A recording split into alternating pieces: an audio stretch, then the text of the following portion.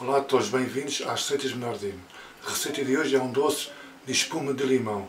Os ingredientes são 60 ml de sumo de limão, duas folhas de gelatina, 25 ml de água, dois ovos, uma lata de leite condensado e uma pitada de sal.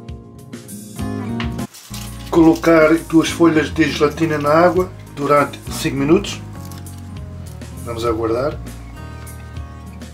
Vou tirar a gelatina, já passou 5 minutos, e vou derretê-la no, no micro-ondas uh, durante 10 segundos.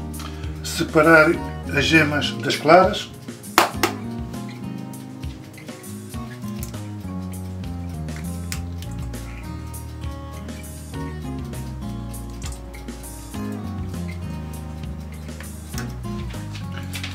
adicionar o leite condensado.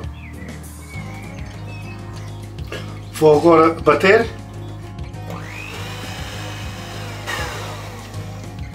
Adicionar o sumo de, de limão.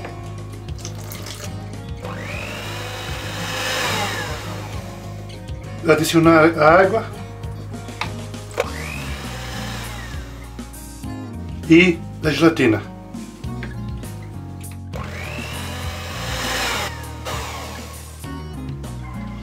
Vamos então reservar e vou bater as claras.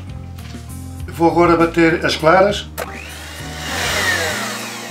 No meio da batidela colocar duas, duas pitinhas de, de sal e vamos então terminar bater.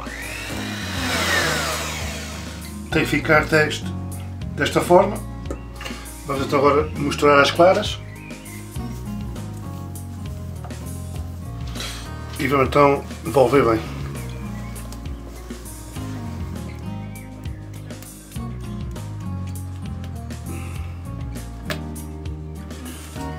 Vamos então colocar em tacinhas.